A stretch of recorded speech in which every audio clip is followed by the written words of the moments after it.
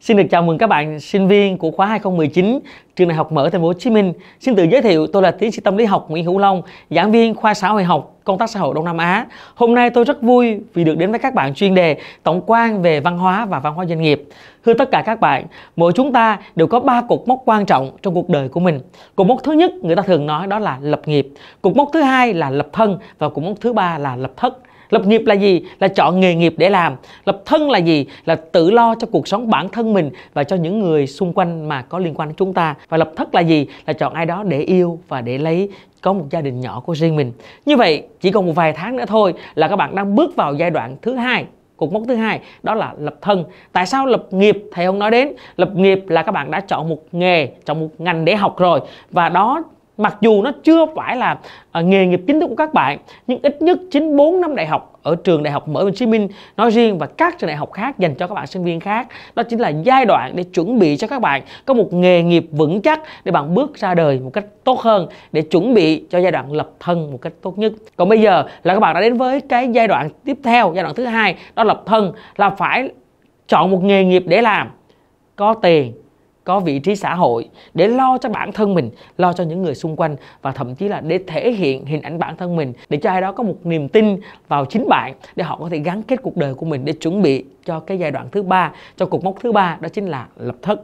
Và ngày hôm nay chúng ta bàn đến câu chuyện là văn hóa và văn hóa doanh nghiệp có nhiều bạn sẽ hỏi là thầy ơi em chưa ra trường vậy làm em quan tâm tới câu chuyện làm gì? À, lâu lắm em mới đi làm. Hoặc là à, à, cái chuyện xây dựng văn hóa doanh nghiệp không phải là của em mà là của những anh chị lãnh đạo của sếp của những người đi trước. Còn tụi em là vào tụi em chỉ biết đi làm thôi hoàn thành hết nhiệm vụ mình đi về.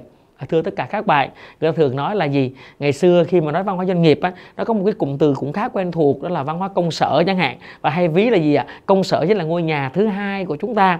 Và ngày hôm nay chúng ta bàn đến xem thì uh, hiểu rộng hơn là văn hóa doanh nghiệp. Chúng ta bàn đến ở cái ngôi nhà thứ hai đó nó có những điều gì mà chúng ta cần phải quan tâm? Và thưa các bạn, trước khi nói tới câu chuyện văn hóa doanh nghiệp, chúng ta nói một chút xíu về văn hóa.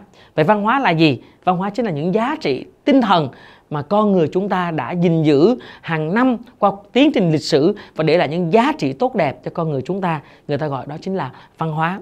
Như vậy, từ khái niệm văn hóa này, chúng ta thấy văn hóa được thể hiện qua nhiều cái khía cạnh khác nhau mà chúng ta hiểu đơn giản, đó chính là cái đẹp được tồn tại, người ta gọi là được tiến hóa dần và được giáo hóa để chuyển tải từ cái bên ngoài thành cái bên trong của mỗi con người chúng ta như vậy, văn hóa thì có ba đặc điểm chính. Đặc điểm thứ nhất là tính lịch sử. Đặc điểm thứ hai là tính giá trị. Và đặc điểm thứ ba là tính hệ thống. Tính lịch sử là một sự kiện, một con người, một vấn đề phải được tồn tại, phải được duy trì qua nhiều năm. Và nó vẫn có ý nghĩa với từng thời của, với từng thời điểm nhất định thứ hai là tính giá trị là con người đó, sự vật đó, sự việc đó, nó có ý nghĩa, nó có giá trị với xã hội chúng ta. Và cuối cùng là tính hệ thống, có nghĩa là đặt vấn đề con người đó trong một hệ thống nhất với xã hội, với các cái đặc, với các vấn đề khác của xã hội. Thì đó chính là đặc điểm nổi bật của văn hóa.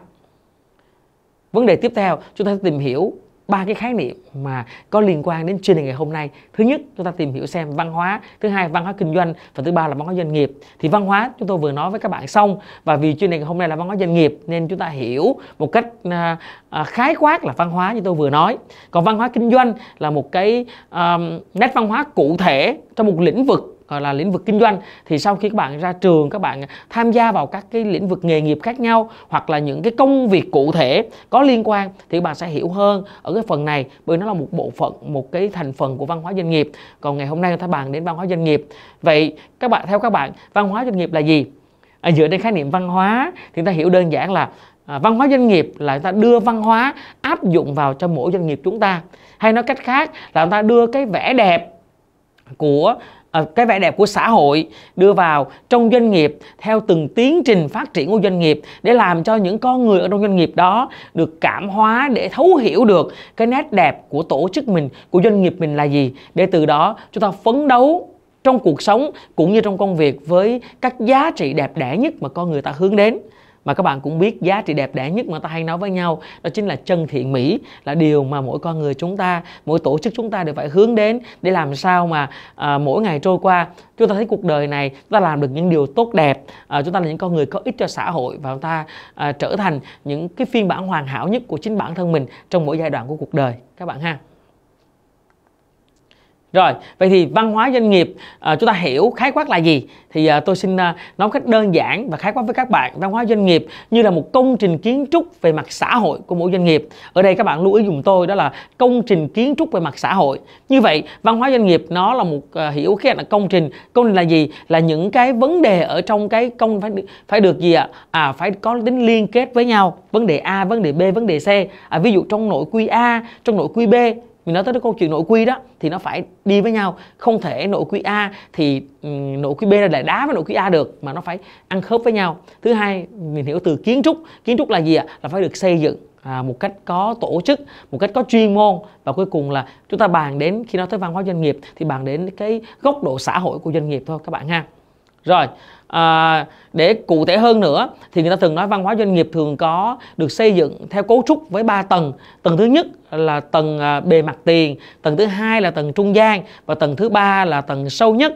Như vậy ba tầng này à, được hiểu như thế nào? À, thứ nhất tôi gọi là tầng bề mặt tiền hay người ta còn gọi đó là tầng nổi hoặc người ta cũng có thể gọi là tầng bề mặt à, vì nó rất dễ nhìn thấy. Ví dụ khi mình bước vào một cái doanh nghiệp một cái tổ chức nào đó cái tầng này được thể hiện à, về mặt hình thức đó mình thấy là màu sắc chủ đạo công ty là gì này hay là các cái hoạt động diễn ra làm sao này à, mình thấy ví dụ ở trường à, đại học mở chúng ta đi đúng không ạ? Cho thấy là à màu sắc chủ đạo là gì logo làm sao hay là cách thức thầy cô giao tiếp với sinh viên thế nào à, thiết lập mối quan hệ giữa những thầy cô giữa giữa các bạn sinh viên với nhau hay nói cách khác đó là đây là cái tầng mà người ta nhìn vào là thấy liền. Đó là hành vi ứng xử, đó là giao tiếp, đó là cách xử lý tình huống khi gặp sự cố, đó là các cái hoạt động mà được đề cập đến nhiều nhất mà người khác có thể nhìn thấy được, ha tầng thứ hai người ta còn gọi đó là à, tầng giữa hay còn gọi là à, tầng trung gian đó.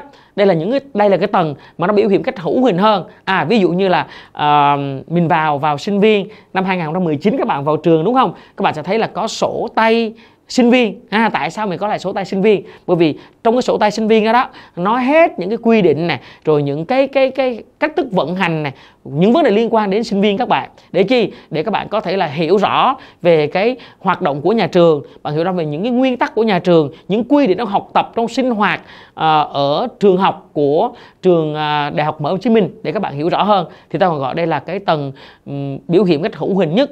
Nó có thể nhìn thấy được thể hiện qua sổ tay qua nội quy hay qua cái bộ chuẩn mực hoặc là nó có thể qua cái bộ nhận diện thương hiệu, vân vân, của doanh nghiệp. Và cái tầng cuối cùng, cái tầng quan trọng nhất, và chính cái tầng này nó quyết định trên 70% cái sự thành bại của doanh nghiệp chúng ta, đặc biệt là cái việc mà xây dựng văn hóa.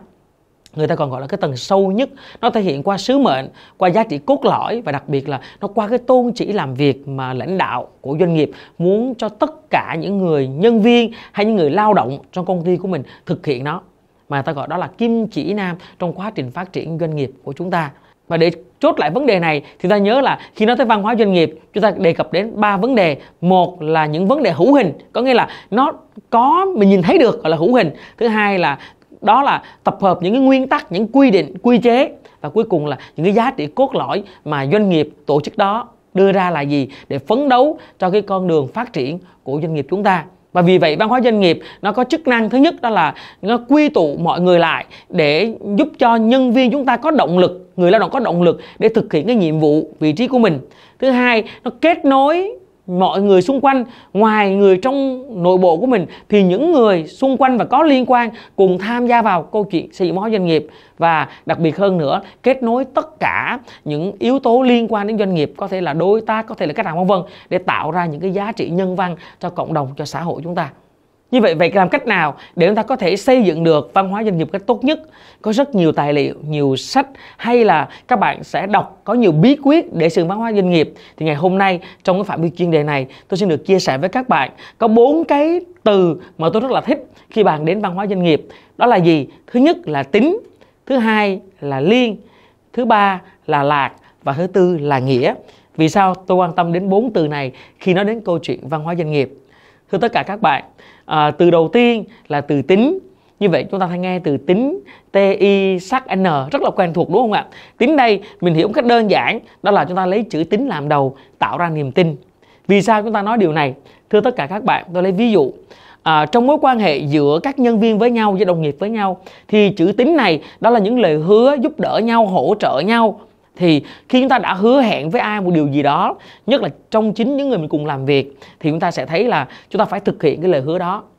À, sẽ có một số bạn hỏi tôi rằng là vậy thầy ơi nếu những người thân quen của mình thân yêu của mình trong gia đình hay là trong mối quan hệ khác mà không phải là trong doanh nghiệp thì chữ tính này có à, phải quan tâm không?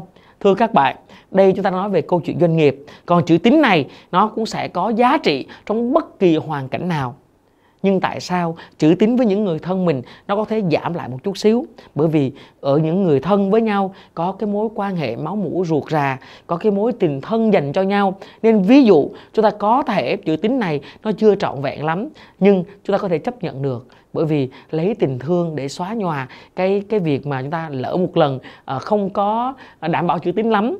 Nhưng tại sao trong doanh nghiệp phải đảm bảo điều này? Bởi vì những người đến với nhau trong doanh nghiệp là những người chúng ta gắn kết nhau, nó bước đầu để gắn kết nó không phải là tình thân, mà bước đầu gắn kết nó chính là gì ạ? À nó chính là lợi ích cùng nhau, lợi ích của mỗi cá nhân, lợi ích của tổ chức. Và chính lợi ích này, đôi lúc chúng ta chỉ cần sơ suất hay chúng ta vô tình đụng vào lợi ích của người khác, thì xem như những vấn đề khác, nó bị đẩy đẩy theo. Và từ đó, chúng ta sẽ gây ra những cái hậu quả hay những hiểu lầm mà chúng ta thấy chúng ta không đáng có vì vậy đối với doanh nghiệp đối với những mối quan hệ nó chỉ mang lại lợi cho nhau nhất là những lần những ngày đầu thời điểm đầu tiên bạn mới bước chân vào doanh nghiệp mới bước chân vào môi trường làm việc thì bạn nên nhớ chữ tín này cực kỳ quan trọng. Bởi nên các bạn nên nhớ là chữ tín phải làm đầu để tạo ra niềm tin. Thứ hai đó là chữ lạc. À, chữ lạc là sao ạ? Chữ lạc chính là cái phương thức ứng xử mình hiểu một cách khác nữa là chữ lạc là sự vui vẻ đúng không ạ? Là sự thoải mái là sự nhẹ nhàng trong giao tiếp với nhau. Tại sao chữ lạc tôi lại quan tâm? Bởi vì các bạn biết là à, khi chúng ta nói đến câu chuyện là văn hóa trong doanh nghiệp thì chúng ta đến doanh nghiệp đến nơi làm việc làm gì? Chúng ta hay nói với nhau rằng là à, doanh nghiệp hay nơi làm việc chính là cái môi trường chính là cái ngôi nhà thứ hai của chúng ta. Và vì vậy đó là ngôi nhà thứ nhất chính là gia đình của mình. Còn ngôi nhà thứ hai là nơi chúng ta đến để chúng ta gọi là đảm bảo được cuộc sống của mình để xây dựng uh, nuôi dưỡng ngôi nhà thứ nhất là gia đình mình. Vì vậy khi ta đến làm việc ta phải có một môi trường ở đó có cái phương thức ứng xử hài hòa vui vẻ nhẹ nhàng với nhau thì khi đó mới tạo ra động lực để mỗi chúng ta đều cố gắng. Và cái chữ lạc này khi ta phương thức ứng xử này vui vẻ với nhau nữa thì cái sợi dây gắn kết giữa các thành viên trong doanh nghiệp nó sẽ tốt hơn. Từ đó nó tạo ra một cái sức mạnh hay nói cách khác nó tạo ra khối đoàn kết trong doanh nghiệp chúng ta cái chữ thứ ba mà tôi quan tâm đó là chữ liên. À, chữ liên là gì ạ? Sau khi mình à, giữ được chữ tính cho nè mình có cái phương thức đối xử với nhau một cách vui vẻ hài hòa rồi thì cái chữ liên này nó sẽ tạo ra cái sự liên kết. Rồi mình gọi vui là nó có sợi dây liên kết giữa các cái mối quan hệ lại với nhau. Bởi vì các bạn biết là à, môi trường công sở môi trường doanh nghiệp là người ta gọi đó là nhiều mối quan hệ khác nhau nếu mối quan hệ này rời rạc thì lập tức cái doanh nghiệp đó, cái tổ chức đó trở nên lỏng lẻo hơn và mọi việc nó sẽ khó để đạt được cái thành quả chung. Bởi vì chỉ khi chúng ta có sợi dây gắn kết với nhau thì tất cả cùng nhìn một hướng, tất cả cùng nhìn về một mối thì khi đó kết quả mới thành công được. Và như vậy cái chữ liên này nó tạo ra tinh thần đoàn kết à, thưa tất cả các bạn à, vừa rồi tôi có à, lên Facebook và tôi có đọc được một cái à, gọi là status hay của một cái người anh. Anh viết à, một vài điều rất là hay rất là thú vị. Và trong đó anh ta có anh ta anh có nói đến đó là chúng ta gặp nhau đó là duyên à, chúng ta à, sống được với nhau đó là thân thân tình á. Và chúng ta gắn kết được với nhau đó là nhân nhân là gì? Tôi có hỏi ảnh thì anh nói giải thích là nhân là khi gắn kết thì chúng ta phải đối xử với nhau là đúng là những con người thực thụ. Anh bảo rằng là uh, tới doanh nghiệp tới nơi làm việc. Chúng ta không cần phải yêu thương nhau một cách thái quá. Chúng ta không cần phải chăm sóc nhau một cách một một cách uh, gọi là quá thân tình. Nhưng ở đó chúng ta được hành xử với nhau phải là một con người thực thụ. Ở đó đã là con người thì cần phải phân biệt được đâu là lợi ích cá nhân đâu là lợi ích tập thể đâu là cái của riêng mình và đâu là của cái chung. Và từ khi ta hiểu được như vậy thì cái sợi dây gắn kết giữa các thành viên trong cùng một tổ chức nó mới được tạo ra. Từ đó tinh thần đoàn kết của doanh nghiệp mới uh, trở thành một cái khối sức mạnh để giúp doanh nghiệp đi đến thành công. Và cái chữ cuối cùng tôi sẽ với các bạn đó là chữ nghĩa. Chữ nghĩa là gì? Có nghĩa là đặt chữ nghĩa lên trên chữ tình.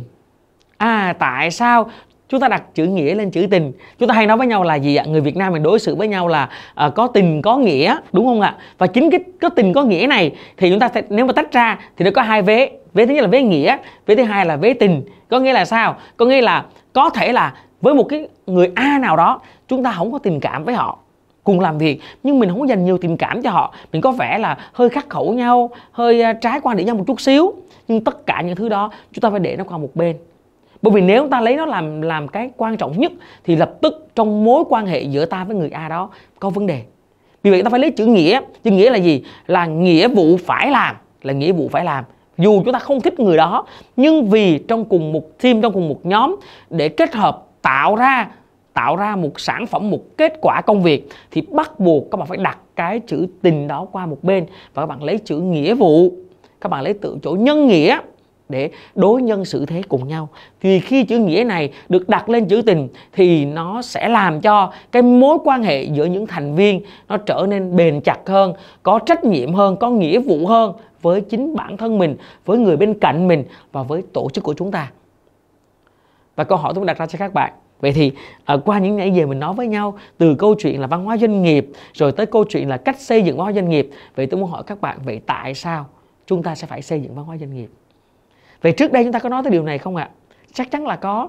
Dù ở thời đại nào đi chăng nữa thì câu chuyện văn hóa trong tổ chức chúng ta luôn được quan tâm hàng đầu. À, nhưng trong thời buổi hiện nay thì văn hóa doanh nghiệp được rất nhiều tổ chức rất nhiều công ty xí nghiệp đều quan tâm để xây dựng và phát triển nó. Bởi vì các bạn thấy là trong xu thế cạnh tranh ngày nay chúng ta cạnh tranh là gì? Bởi vì doanh nghiệp chỉ tồn tại khi chúng ta có một cái, gọi là một cái nét văn hóa đặc trưng. Mà cái nét văn hóa đó, nó lan tỏa đến cộng đồng, nó lan tỏa đối tác của mình, nó lan tỏa đến khách hàng của mình. Thì khi đó, hình ảnh của mình mới tốt được. Ngày xưa có thể có một sản phẩm hay một dịch vụ thì chỉ có một, hai, ba hoặc có thể đếm được những nhà cung cấp. Còn ngày nay, một sản phẩm, một dịch vụ thì có rất nhiều nhà cung cấp. Vậy nhà cung cấp nào có được hình ảnh tốt hơn? Hay nói cụ thể hơn, đó là có văn hóa doanh nghiệp tốt hơn, thì khách hàng, đối tác tìm đến doanh nghiệp đó, tìm đến tổ chức đó nhiều hơn. Và chính cái sự cạnh tranh này, nó tạo ra cái hình ảnh tốt đẹp cho mỗi doanh nghiệp chúng ta à, như trong công việc của mình thì tôi cũng tham gia à, nhiều vào cái câu chuyện là xây dựng văn hóa doanh nghiệp. Nó không chỉ ở khu vực là à, tư nhân hay là những doanh nghiệp à, do tư nhân thành lập nên mà ngay cả khu vực hành chính công bây giờ cũng phải xây dựng văn hóa doanh nghiệp. Bởi vì chỉ khi có văn doanh nghiệp ta mới tạo ra sự khác biệt và khi đó ta mới thu hút được nhà đầu tư thu hút được đối tác và thu hút được khách hàng của chúng ta tới đây. Như vậy tóm gọn lại ở trong chuyên đề này chúng ta vừa nói với nhau những vấn đề gì ạ? Thứ nhất chúng ta bàn đến câu chuyện văn hóa. À, văn hóa là các giá trị các quan điểm đó là niềm tin là nguyên tắc là những chuẩn mực. Nó chi phối một hoạt động của doanh nghiệp và nó tạo ra bản sắc riêng cho doanh nghiệp chúng ta. Thứ hai văn hóa thì có ở ba cấp độ đúng không ạ? Thứ ba và văn hóa của doanh nghiệp thì tạo ra khả năng cạnh tranh và nó góp phần xây dựng hình ảnh của doanh nghiệp một cách tốt hơn. À, thứ tư, một số nhân tố sẽ tác động đến văn hóa doanh nghiệp chúng ta có thể từ bên trong doanh nghiệp hoặc có thể từ bên ngoài. Và cuối cùng, chúng ta thấy văn hóa doanh nghiệp, chúng ta quan tâm đến nhiều khía cạnh, trong đó có yếu tố con người. Và đặc biệt, mỗi con người, mỗi cá nhân trong tổ chức, trong doanh nghiệp đều phải có trách nhiệm xây dựng, gìn giữ hình ảnh của chính bản thân mình, hình ảnh của tổ chức, của doanh nghiệp mình để góp phần vào xây dựng doanh nghiệp, xây dựng văn hóa doanh nghiệp. Như vậy, xây dựng văn hóa doanh nghiệp và đảm bảo sự vận hành của doanh nghiệp không phải trách nhiệm của lãnh đạo hay một cá nhân nào cả, mà của tất cả những con người liên quan ở trong doanh nghiệp cảm ơn các bạn đã theo dõi chuyên đề.